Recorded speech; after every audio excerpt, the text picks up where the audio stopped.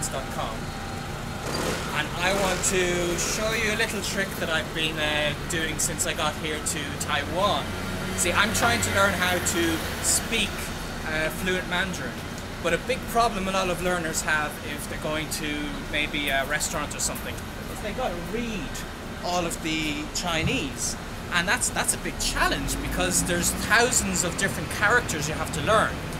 And uh, it's very important to do this if you want to have an, a, a great level of Chinese. But since I'm focusing on speaking first, I've got a little trick that I want to show you today that's been very, very helpful. And it's an app on uh, iPhones and Androids. So, let me show you how it works.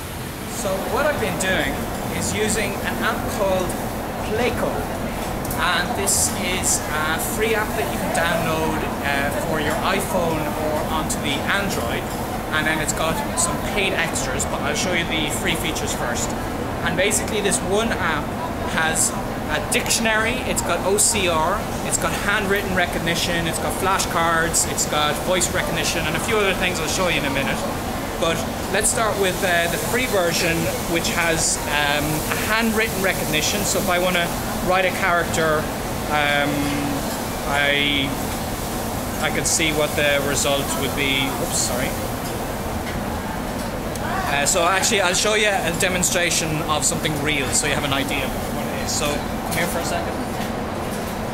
Let's see if we can figure out how to pronounce the name of this uh, this shop. So if I go to my handwritten app, and I'll try and reproduce the the characters. So we have stroke down, stroke over, stroke like this, down. Now, my stroke order isn't perfect, but you can actually see that it's accurately reproduced that first syllable, uh, that first uh, character. So that's great. Done, and that's pronounced uh, shu. All right, and I can go back to it and maybe draw the second syllable here, uh, second character. Box over dash. Uh, okay, it's not, that's not so great, my, my version. I, I made a mistake in it, but it still recognized what that character is, and that's pronounced Sheng. So I know the name of this shop, uh, this restaurant, is Shu Sheng, more or less. Um, and if I if I still wasn't 100% clear, there's a, a, little audio associated with all of these. So if I uh, hold it up to my to the camera, you can just about hear that. Um, and you know, if, if, you're in a noisy area, and that's the whole point for me, is I'm using it in the real world, not not in a, a quiet room. If I just hold it up, I can hear how I'm supposed to pronounce something. So this part of the app is free, the handwritten uh, aspect. But what I've been really getting used out of, because you can see, if you wanted to recognize menus and stuff, that would take a while. And a, a catch I do have to point out with the handwritten app is you have to try and have your stroke order as accurate as possible. So if you're just a tourist and want to use this app, just spend a few minutes to try and figure out, uh, let some people get past me here, uh, spend a few minutes to try and figure out um, how to get the, the way right. So when you're drawing a Chinese character, you have to start up and work down, and then you have to start left and work right, and then work inside. And it's uh, you can do a quick Google search and you'll get a general idea of how that works. So make sure you're doing that right because let me show you just a quick example. Um, just uh, the, the number four has uh, this look, but if I do it with the wrong stroke order, um, it actually doesn't recognize it. None of, none of these are the, are the right one. Whereas the character is, pr is pretty close. I mean, it looks like it, but the, the stroke order is wrong. So it's very, very important to get the stroke order right. And in this case, it's something more along the lines of starting left, going up, drawing the parts in the middle and then the part at the bottom, something like that, and then it does get it, and then I can see that that's uh, the number four. So just keep that in mind when you want to use this free handwritten app. You have to do the right stroke order, and if you're learning Chinese for real, that's going to be something you're putting time into anyway. But just something for a tourist to know. Now here's my favorite part that I've been using a lot. If I want to eat in a restaurant I can pronounce the Mandarin basically okay when I know the pinyin, when I know uh, the Romanized version. But if I'm seeing all these characters, I can't possibly, at the moment, since I've only been studying Chinese a couple of weeks, I can't possibly say everything or recognize everything. There's thousands of symbols. So this is what I do. I use the optimal character recognition. So you press the, the button and you'll actually see uh, it will recognize the characters. So let's check it out with an example. Look at this uh, menu here. So let's say I want to recognize uh, what's, what's on this menu. So if I hold my phone up to particular parts of it, then you can actually see this says that's pork, beef, and I don't know what that is, so I'll pause it and I'll view the entry. Uh, now you can actually switch between different dictionaries. This dictionary is just Chinese Chinese, but if I switch it, this other dictionary tells me it's a set meal.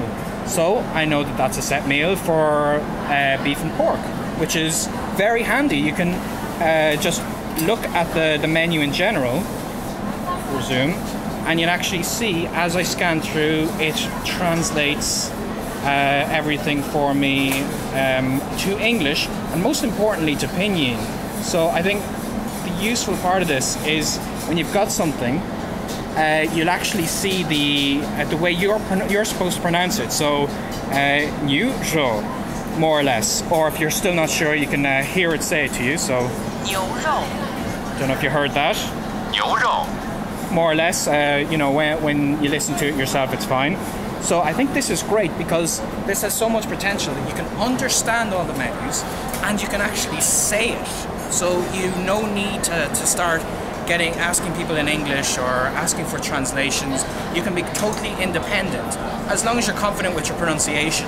And I don't think it's a good idea for skipping learning traditional characters. This is a very important part of Chinese.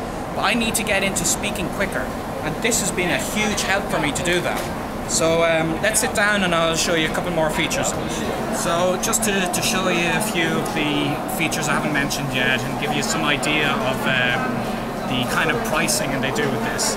Uh, firstly, instead of doing what you've just saw me do, of trying to hold the camera up and, and scan, as cool as that is, because it recognizes it instantly as you're looking, what I prefer to do is actually uh, go up, take a really nice photo of the menu, and then sit down and just go through that photo. So this this is one I've taken of uh, one of the menus here, and you can just see I can see the, uh, what the different components are. So this first item would be uh, a shrimp dumpling, or if I, uh, move this up, I can see this next one would be more different types of meat and then see these different ingredients, uh, new, uh, type of cake. So this is how I prefer to do it. And just one thing that's kind of important when you're using uh, the OCR or the camera in the real world, because I've seen people use this app in videos online on books. But when you're out and about, you do have to take into consideration you need to make sure there's no shadows or lights going across the characters because then uh, it has a few problems with that. I know they're going to improve the algorithm in a few months, but for the moment, just make sure it's a nice clear picture with great contrast. And this only works on printed style uh, Chinese. So what you would have seen, the, the name of the store, it wouldn't work so well with that because that's not a standard font. So you do have to draw that yourself. So you can figure out if you would need the OCR. I think in general, when you you can use it to actually understand and read a book if you wanted, you can go that far. But for me, it's better for short things because it's relying entirely on the internal dictionaries of the app. So it's not like Google Translate where you can have a big sentence and it would translate the whole thing. You have to do, look at the particular words and understand the different components. And because of this, it's a great tool for language learners of Chinese if you just want to take a shortcut and not learn the language, um, no, no app is ever going to skip that part for you. You have to put the work in. But it's great to have this extra uh, addition to get around that. Now, a few things about uh, the Pleco app in particular, because there are other apps you can get that have features this has. But I, the reason I would recommend this one is because it gathers everything together. So uh, the free version has the handwritten um, option that I showed you, and it comes with a basic dictionary. So you'll get some uh, useful things from that. um, and it depends on what you're looking up. But uh, if you go for one of the premium versions, you get some extra features. Um, so I think one of the the one option they have is for forty dollars. You get the NWP English to Chinese dictionary. Um, so that's good for if you want to know how to say something. So uh, to give you just an example of that, let's go into the dictionary mode. So here you can see I can switch between uh, Yingwen, English, and Zhongwen, Chinese. So in English, I've got various different options and I can just use the keyboard. So if I want to know how to say umbrella, for example, I just write it out and then I get the option uh, in the dictionary and the one that comes with the $40 package, uh, package is um, yeah, I forget I forget which one of these is. You can see the different dictionaries have different kind of options. Like this one is only Chinese, whereas my favorite one would be the ABC dictionary because it comes with the pinyin and it has color coded over the characters so you know which tone to pronounce them. And when you click it, as always, it'll actually speak it to you. So you can listen to that and, and understand it. And another thing is if you want to understand the component syllables, you press the button, it'll tell you more about that, that uh, sorry, not syllable, character. It'll tell you more about that character. You can see examples it's used in, different sentences. This all depends on the dictionary that you have installed though. Um, you can see more information like if there's an alternative. Like I should actually say that everything I'm showing you here is based on traditional Chinese because I'm in Taiwan. But the app actually has both traditional and simplified. You can set whichever you want to be the, the default. So I've set it to be traditional but if you want it'll give you the simplified variant if there is one. In this case there isn't. And here's another feature. This doesn't. This also doesn't come with the free version, uh, but some of these, like this one here, is a five dollar extra uh, if you were to get it just this. But if you get the package, then you get a lot of different things. And this shows you the stroke order.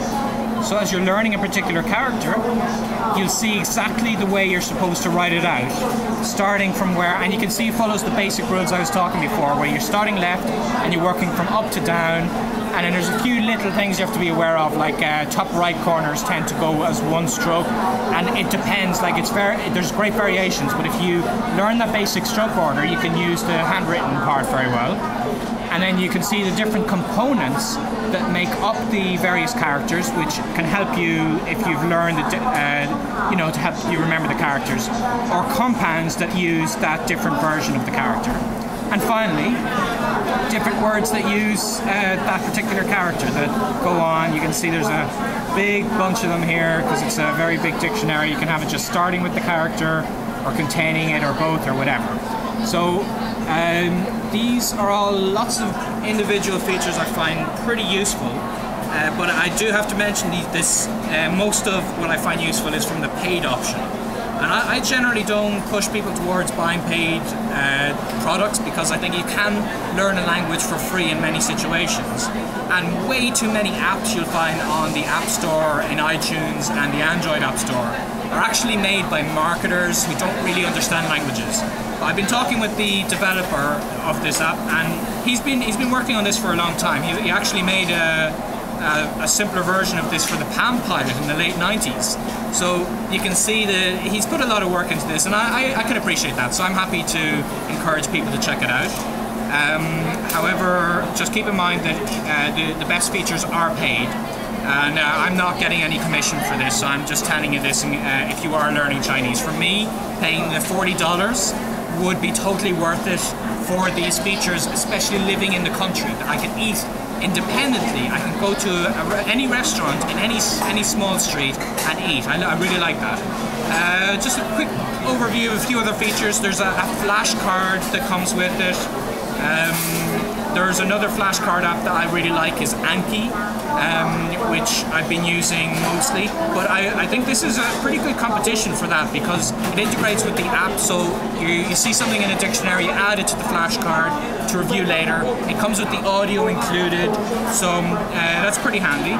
Um, it comes with the basic dictionary, but my favorite dictionary is the ABC dictionary, uh, which is both Chinese English and English Chinese. So obviously the English Chinese you would need it when you want to express yourself. You want to say a word that you don't know how to, and you show the Chinese and you show the pinyin so you can actually pronounce it. And in the Chinese English you would need it to actually recognize all of those uh, characters that you're reading and uh, menu items and so on.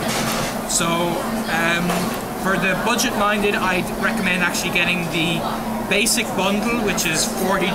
That comes with the NWP English Chinese Dictionary, uh, the optimal character recognition, so you put your phone and it recognizes. You need it. You need a camera on your phone for that. Uh, the stroke order diagrams, uh, the full version of the text file reader. So if you're actually just surfing the net on your smartphone, you can copy and paste text, import it into this, and then look at each character, hear how it's pronounced, understand the stroke order, and so on. So you can use it by copying characters from other apps into it. Uh, and it includes both audio pronunciations. There's two of them. There's a, a male and a female, uh, which I think is pretty useful because if you press it twice, you'll hear it pronounced by two different people, so you can get a better idea.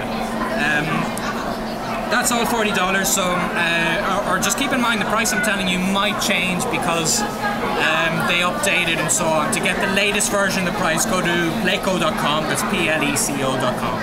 Um, and they have another one, the professional version, which is $80. And I don't think it's so necessary to get this. Uh, this one is the same as the one I just told you about, but it comes with the ABC Chinese English and English Chinese and a 21st uh, century dictionary.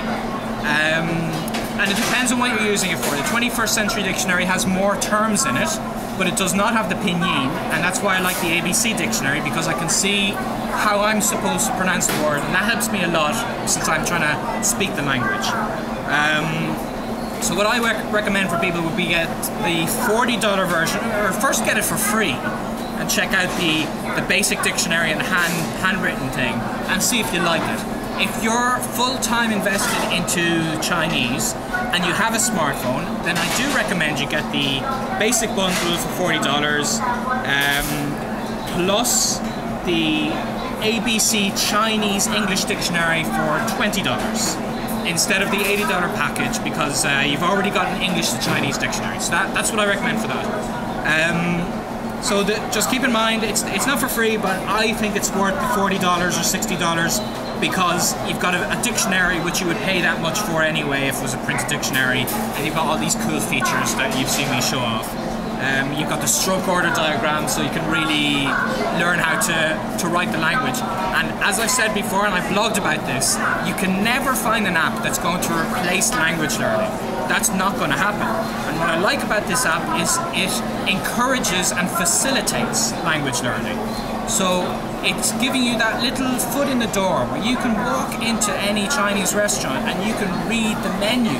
And that is a huge deal because that, that allows you to actually start speaking. You can see the pinyin, you can say it to the person, and um, you know, theoretically, if your spoken level was very good but you're still struggling on reading, then this might help you out. So if you have a smartphone and if you're, especially if you're in the country, uh, because if you're just at home, it can help you for reading books, but I think if you're in the country, it can be a huge change for how you can interact with the locals. Um, so I would recommend that you check it out. Um, if you want any more information or up-to-date price information, then check out pleco.com um, as I said, I'm not getting paid by them to do this. I just genu genuinely think it's a, it's a cool app. Um, and if you have any questions, just uh, hit me in the comments below or contact the, the author of the, the app. Uh, and everything I showed you is relevant for the iPhone and the Android version. I was showing you the Android version, but all of these features are on the iPhone as well. Uh, just the pricing might be a little different. So, thanks a lot for watching. And uh, if you're learning Chinese, then maybe check this out. uh, but otherwise make sure you always speak the language. That's why I like this because it helps me to speak the language. So don't forget that. Thanks for watching.